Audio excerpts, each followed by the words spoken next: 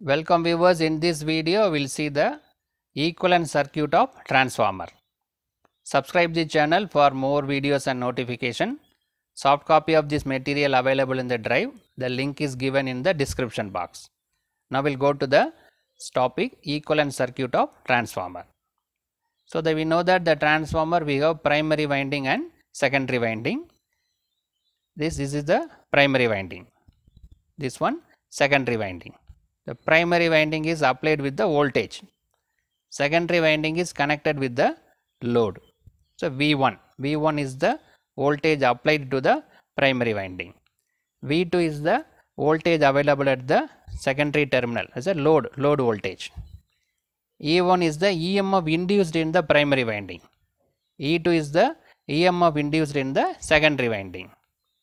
R1 is resistance of primary winding, X1 is reactance, reactance of the primary winding.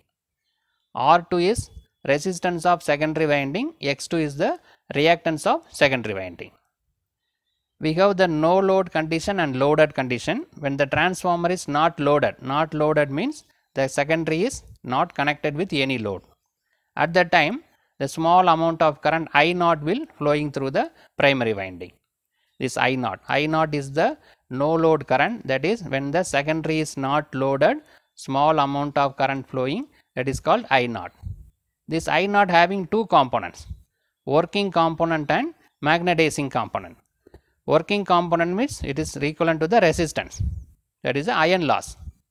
Working component means it is responsible for producing the magnetic flux. It is like a inductance, reactance X naught. Right. So, the IW is the current flowing through R naught that is called a active or iron loss component. This I mu is the magnetizing current flowing through the X naught. Is this X naught I R naught refers the no load condition. It is responsible for magnetizing the primary winding when it is the secondary is not loaded. When the secondary is loaded what will happen? The secondary current will flowing through the secondary winding so that the current also flowing through the primary winding. It's called I2 dash. I2 is the current flowing through the secondary winding when it is loaded. So, due to that the because of loaded condition some more current will flow through the primary that is called I2 dash. So, this I1 is the total primary current that is the sum of I0 and I2 dash. I0 due to no load condition, I2 dash due to loaded condition.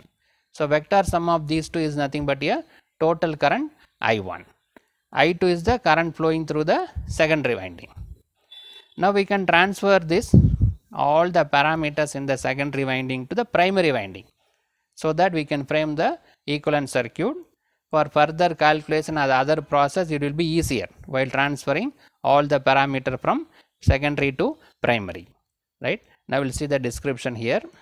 So, the V1 is the applied voltage in primary, V2 is the output voltage terminal load, voltage, I1 is the current in the primary, I2 is the current in the secondary. E1 is EMF induced in the primary, E2 EMF induced in the secondary. R0 and X0 be the resistance and reactance represent the loss component at the no load during no load condition. The effect of magnetizing component is X0, the effect of core loss that is iron loss is R0. So, these are all the description available. Now, let us let us transfer all the resistance and reactance to the primary side in order to frame the equivalent circuit that will be very easy for further calculation. So, we will transfer all the reactance available in the secondary to the primary side. What are the resistance available? In the secondary side we have EMF, induced EMF, secondary current, secondary resistance, secondary reactance as well as load impedance ZL. Now, we will transfer all these parameters 1, 2, 3, 4, 5, 5 parameters into primary side. All these parameters are transferred to the primary side. So, while transferring the primary side we need to find the equivalent expression. We cannot transfer as it is. When R2 is available in the secondary while transferring to the primary we need to find what is the equivalent expression because the effect of R2 in the secondary should be same as in the primary. The effect should not change. The originality will not change. So while transferring to primary we need to find what is the equivalent expression and what is the equivalent equation for that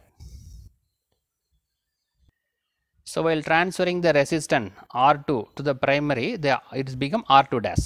R2 is the resistor available in the secondary.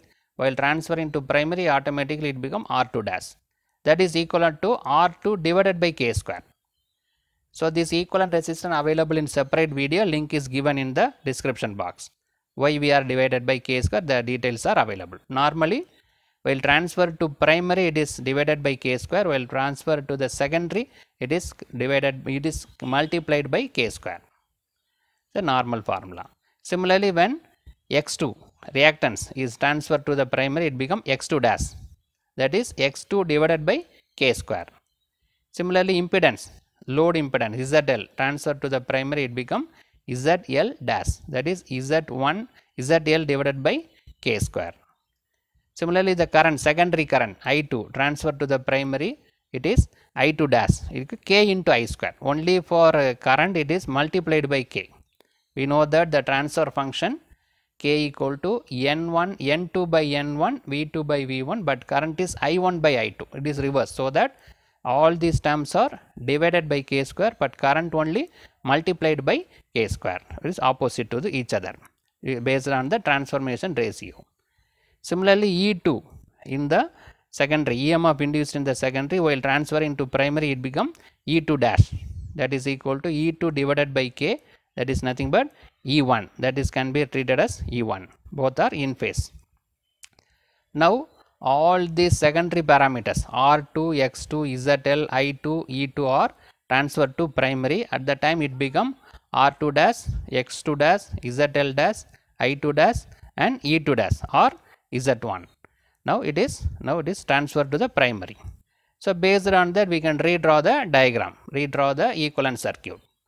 So this is the applied voltage, this current I, I R1, X1, this I naught all are available in the primary side. Now the secondary parameters also transfer to the primary. So what will happen automatically it become R2 dash, X2 dash, E2 dash, V2 dash, ZL dash. So this equivalent expression also already we calculated.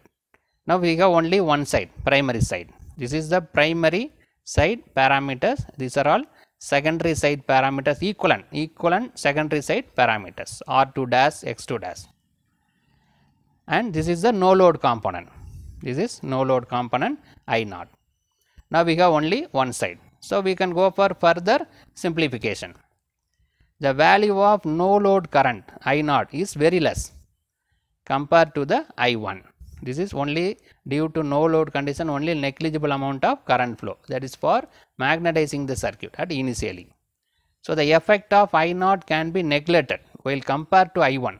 While compared to I1 I naught is very less so that we can neglect. So, if you neglect this I naught we can go for the we can the equivalent circuit will be simplified so that we can draw we can draw like, like this.